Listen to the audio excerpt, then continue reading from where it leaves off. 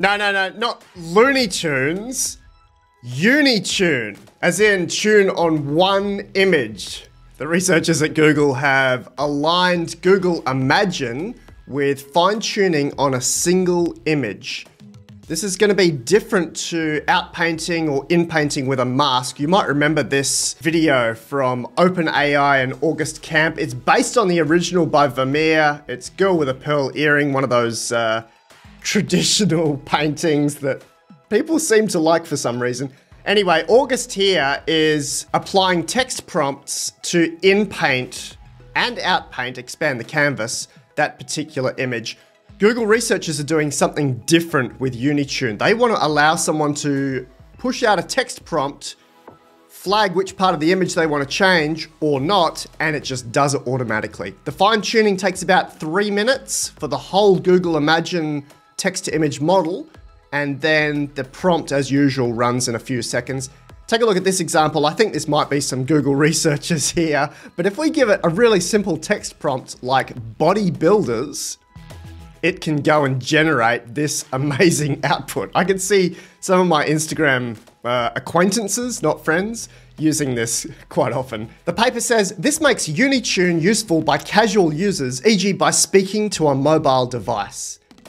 I've already done a video about Google Imagen. You can go back and have a look at the beautiful images that come out of that. The model is not actually the biggest out there. Google Imagen used about 860 million training images or photos, and uh, comparatively, that's quite small. It's larger than DALL-E 2, but it's smaller, far smaller than Google Parti, and even smaller than Stable Diffusion, which is still getting more and more popular. Let's have a look at some of the examples that come out of this. Google wanted to focus on two things. Number one, fidelity being as close as possible to the original input image that it was trained on. And number two, expressiveness, being as close as possible to the actual edit prompt. Three more Google engineers, I reckon. If we mask out different parts of this so we can compare it with other models, look at how Google Unitune is able to replace one with a green monster, and let's try another of the researchers there, we'll mask him out with a purple monster, and the third one here with a yellow monster. Let's try another super traditional painting. This is another one that's uh, liked for some reason. It's American Gothic. This is actually the guy's daughter. It's not his wife. Make them into chefs. Make them into teddy bears. Let's make them into The Simpsons. You'll notice in each of these examples that the entire image is being reconstructed, reconceptualized from scratch. This is nothing like Photoshop. This is really allowing the model to think and imagine and come out with its own interpretation of that painting or that image with the new text prompt as a basis. For, so it's fine tuned, in this case on American Gothic, the image, and then it is using a text prompt to rebuild that, reconceptualize that. Really super cool stuff. Let's bring the engineers back. Here they are having lunch or dinner, I reckon. What about if we ask that to be astronauts in shuttle? Let's try sitting on the grass. Puppets. Wizards. Manga. Robots. Elephants. And we can also do cartoon elephants.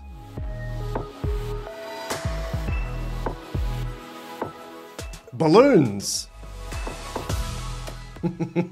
we can change things on the table as well. Let's try this. Eating a turkey. Eating grapes. Foam. Foam party for dinner. Balls.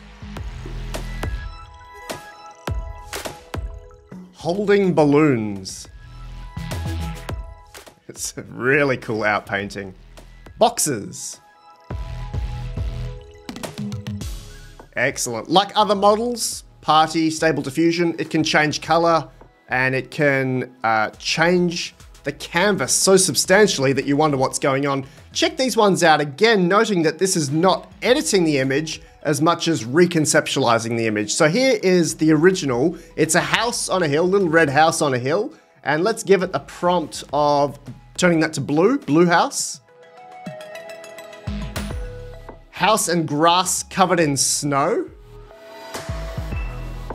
Sunny day, green grass, red flowers, large sun in sky.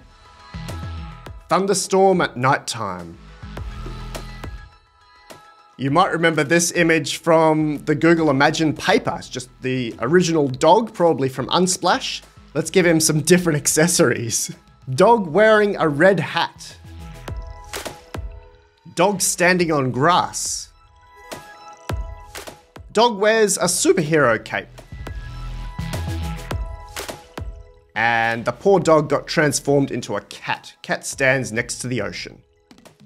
The Google researchers volunteered their families to be the single image that was used for pre-training, for fine-tuning the Google Imagen model.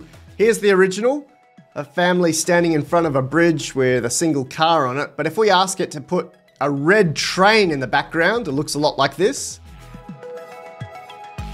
Turn them into The Simpsons. Pixel art. Anime. I wasn't expecting this, but the Google researchers commented in the paper, our work raises interesting questions even more broadly beyond image generation on whether we could use similar techniques to imbue large models in other domains, i.e. GPT, with preferences by fine tuning on a single example. I've noted before that imagination is going to be the largest and most useful skill in this AI revolution. It's how imaginative we can be. The way that I read this quote from the paper is that perhaps we can fine tune large language models like GPT-4 and onward that allow it to align more closely with human values. Have you seen my back to basics video where I talked about having the Dalai Lama as a best practice input or best practice fine tune for these models what if we could align any output with something like the Dalai Lama's body of work? Wouldn't that be interesting to see? I'd love to see more about that. That's Google Unitune based on Google Imagen. It's outperforming a number of models and different ways of playing with those models like SD Edit and text to live and prompt to prompt.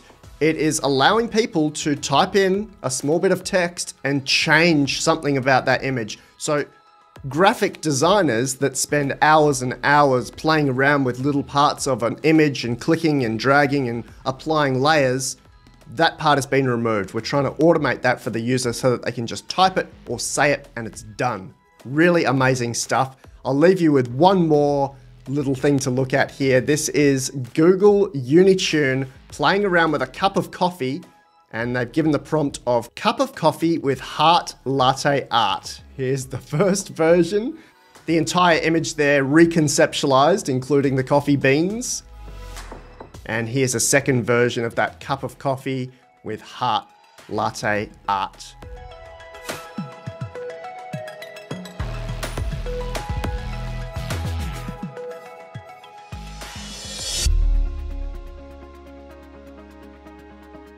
Did you see the memo about this? Yeah. Yeah, yeah, I have the memo right here. Love artificial intelligence? Excited by the explosive progress of integrated AI? I am. Join my private mailing list, The Memo. Did you get that memo? Yeah, I got the memo. Get priority access to my articles, videos, and behind the scenes tips as soon as they're released with a monthly or annual subscription. Yeah, didn't you get that memo?